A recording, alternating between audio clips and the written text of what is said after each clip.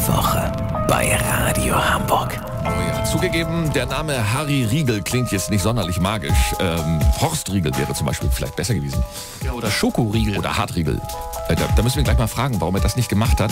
Aber Harry Riegel macht Dinge, die Ihnen wie Zauberei vorkommen. Gestern sollte Birgit zum Beispiel, unsere Birgit Hahn hier, zwei geometrische Formen malen. Unser Rechtsanwalt Daniel Ostendorf aus Niendorf hat überprüft, dass Harry nicht gesehen hat, was Birgit gemalt hat. Trotzdem wusste Harry, dass es ein Dreieck in einem Kreis war. Das war echt der Wahnsinn. Ich frage mich immer noch, wer das gemacht hat, wirklich. Ja, Harry, guten Morgen. Ja, schönen guten Morgen zusammen. Guten Morgen. Erst kurz klären, warum kein Künstlername? Warum Harry Riegel? Mal ganz ehrlich, Zauberei an und für sich ist ja schon etwas Unglaubliches. Und wenn ich dann auch noch einen unglaublichen Künstlernamen habe, dann glaubt mir ja niemand mehr Ja, etwas. das stimmt. Deine heutigen Experimente haben mit Zeitungen zu tun. Und deshalb freuen wir uns, dass er heute Morgen bei uns ist, von der Bild Hamburg, Mike Brodersen. Mike, guten Morgen. Guten Morgen. Guten Morgen. Ist das so deine Zeit oder wann stehen Zeitungsmenschen normalerweise auf Mike? Äh, kann ich dir sagen, normalerweise komme ich um diese Uhrzeit erst nach Hause. Also für mich ist schon relativ ungewöhnlich, so früh hier zu erscheinen. Ja, Mike Brodersen von der Bild Hamburg. Rechnen wir da ganz hoch an, dass du heute Morgen hier bist. Mit Mike ist nichts abgesprochen, stimmt's? Ja, ich habe keine Ahnung, was passiert. Ich bin hier aufgetaucht, sehe den Magier und äh, dich mit Vollbart. Ja, genau. Auch neu für mich. Ja, das war auch magisch, Äh, dass er überhaupt gewachsen ist. Äh, nein, ich habe keine Ahnung. Okay, alles klar. Vertrauen ist gut, Kontrolle ist besser und wir freuen uns. Deswegen übergeben wir jetzt an Harry dein Experiment. Das ist ja das, das vierte. Gestern drei, für heute das erste. Genau. Und gestern konnten Sie bereits alle mitmachen. Ich lade Sie auch heute wieder ein, alle mitzumachen. Sie können jetzt bereits mal schauen, was bei Ihnen zu Hause geschieht, wie es bei diesem Experiment bei Ihnen zu Hause aussieht. Einfach zuhören und mitmachen. Und äh, Herr Brodersen, Sie sind ja Redakteur von der Bild-Zeitung. Jetzt mal eine blöde Frage. Wie viel Buchstaben befinden sich so auf oder in einer Tagesausgabe der Bild? Oh, keine Wissen Sie Ahnung. das? Nein, keine Ahnung. Weiß ich nicht. Äh, halbe Million? Keine Ahnung. Gut, gehen wir einfach mal jetzt äh, laut Ihrer Aussage von einer halben Million aus. Das ist eine ganze Menge an Buchstaben, mit denen wir jede, jeden Tag konfrontiert werden. Ja. Und um Buchstaben geht es jetzt auch. Doch bevor wir weitermachen, ich habe hier heute im Studio einen Luftballon. Den hat unser Rechtsanwalt, Herr Ostendorf. Genau. Herr Ostendorf, ich darf Sie bitten, den Luftballon mal an das Mikrofon zu halten und zu schütteln. Ich denke, das kann man hören, denn in dem Luftballon, meine Damen und Herren, liegt ein zusammengefalteter Zettel. Und auf diesen zusammengefalteten Zettel kommen wir später zurück. Ähm, doch bevor wir jetzt weitermachen, Herr Brodersen, ähm, gehen wir einfach mal davon aus, Sie würden die Bild aufschlagen. Die Bild von gestern oder die Bild von heute. Sie hier, Sie hier. Ja. Ich habe sie auch hier. Gut, dann machen Sie das mal, schlagen Sie die auf. Wenn Sie zu Hause jetzt auch zufällig die Bild vor sich liegen haben, ähm, können Sie jetzt Ihre Meinung bilden. Ha, kleines Wortspiel, schlagen Sie die irgendwo auf. Und Herr Brodersen, nennen Sie mir doch bitte spontan, wenn ich mit den Fingern schnipsen, irgendeinen einzigen Buchstaben. Irgendeinen Buchstabe. Und zwar jetzt. H. Ein H. Immerhin. Wie viele Buchstaben hat das Alphabet? 27. wenn- 27, gut. Das heißt, die Chance war jetzt 1 zu 27, das H. Gut. Nennen Sie mir bitte einen zweiten Buchstaben. Und zwar jetzt. Das S. Das S. Okay, gut. Und jetzt bitte noch einen dritten Buchstaben. Und zwar jetzt. Das G. Das G. Sind Sie sicher? Ja. Gut, wir haben jetzt mehrere Möglichkeiten. Wir könnten jetzt HSG schreiben. Wir könnten GSH schreiben. Das sind alles Kombinationen.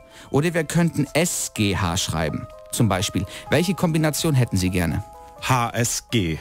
Also Sie hätten gerne H, S und G. Ist Genau. das richtig? Das ist richtig. Möchten Sie vielleicht noch einen äh, vierten Buchstaben dazu? Ja, warum nicht?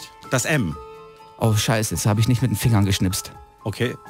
Machen wir noch mal. Ich schnips mit den Fingern, dann nennen Sie einen Buchstaben. Sie können auch das M wieder nennen, wenn Sie wollen. Das ist Ihre Freiwahl. Nur erst, wenn ich schnipse. Ich nehme nochmal das M. Reporter sind sehr kritisch. Dass er jetzt das M nimmt, das hat mich ein klein wenig irritiert. Das muss ich ganz, ganz ehrlich sagen. Okay, wir wiederholen noch mal. H als zweiten Buchstaben, S. als dritten G. und als vierten M. H, S, G, M. Herr Brodersen, ich darf Sie jetzt mal bitten, den Luftballon zu nehmen und zusammen mit dem Luftballon hier zu mir rüberzukommen.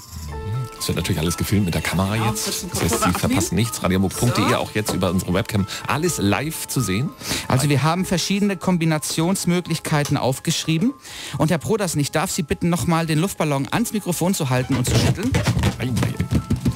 Ja, das ist dieser Luftballon und da liegt irgendwas drin. So ein kleiner Zettel. Und, kleiner Zettel. und jetzt, meine Damen und Herren, verrate ich Ihnen was. Drei Buchstaben wurden genannt aus dem Alphabet. Allein, dass drei bestimmte Buchstaben genannt wurden, da allein da ist die Chance bei 1 zu, bei drei Buchstaben, 27 hoch 2 oder 27 hoch 3, eine unglaubliche Zahl. Und dass diese drei Buchstaben, die Sie genannt haben, auch noch in einer ganz bestimmten Reihenfolge sind, die Chance ist noch viel geringer. Drei Buchstaben in einer ganz bestimmten Reihenfolge. Herr Brodersen, wir haben uns nicht abgesprochen. Nein, ich kenne sie überhaupt nicht. Wirklich. Ja, ich glaube Ihnen das, nur unsere Hörer noch nicht. Aber vielleicht jetzt. Meine Damen und Herren, wenn Sie jetzt gleich einen lauten Knall hören und Sie sitzen im Auto, es ist nicht Ihr Autoreifen, fahren Sie einfach ganz beruhigt weiter. Herr Brodersen, ich darf Sie bitten, die Schere zu nehmen. Okay. Ich halte den Luftballon so hin und bei drei werden Sie den Luftballon zerstechen, aber erst bei drei, dann fällt der Zettel runter. Ich möchte den Zettel, der hier drin ist, Okay. nicht berühren, okay? Bei drei und dann heben Sie den Zettel auf. Okay. Eins, zwei, drei. Nehmen Sie den Zettel, heben Sie den Zettel auf. Ich möchte ihn nicht berühren. Ich Okay. den Zettel jetzt auf, habe den Zettel in meiner Hand. Darf ich ihn aufmachen? Machen Sie ihn auf. Wir haben verschiedene Kombinationsmöglichkeiten. Ich möchte ihn nicht berühren. Und lesen Sie laut vor, was auf dem Zettel steht. Denn, meine Damen und Herren, Wirklich unglaublich. Bevor wir angefangen haben, habe ich unserem Anwalt heute Morgen den Luftballon gegeben. Der Zettel lag in dem Luftballon, isoliert, in völliger Abgeschiedenheit. Herr Brodersen hat den Luftballon zum Platzen gebracht, hat den Zettel rausgenommen. Und jetzt lesen Sie uns vor, was auf dem Zettel geschrieben steht. Ja, da ist ein kleiner Zettel drin. Die äh, Schrift ist schwarz und dort steht, die Buchstaben in der richtigen Reihenfolge lauten, unglaublich, H, S, G, M. Das bedeutet, nicht. Nur die Buchstaben sind richtig, sondern auch die Reihenfolge der Buchstaben ist richtig. Sie können sich zu Hause gerne mal in einer ruhigen Minute hinsetzen und ausrechnen, wie hoch die Chance ist, von 27 Buchstaben vier und das noch in der richtigen Reihenfolge zu lesen. Das mit der Bildzeitung. Vielen Dank, Herr Ja. Brodersen. Mike, du hast ja schon viel erlebt. Ja. Dein Eindruck? Ich bin völlig ratlos, das ist unglaublich. Also äh, ich bin wirklich, das gibt's gar nicht. Das ist mein Job. Und wenn Sie zu Hause das Gleiche erleben wollen, dann rufen Sie uns nachher an für das nächste Experiment. Genau. Erstmal kurz Daniel Ostendorf, unser Rechtsanwalt, muss noch mal kurz bestätigen, dass hier alles mit rechten Dingen zugegangen ist. Ich habe den Luftballon die letzte halbe Stunde nicht aus der Hand gelassen. Also ich weiß auch nicht, wie das gehen kann. Unglaublich. Also, das war das erste Experiment für diesen Morgen. An dem zweiten magischen Experiment des Morgens werden Sie teilnehmen. Sie denken sich ein Wort und Harry weiß, welches Sie im Kopf haben.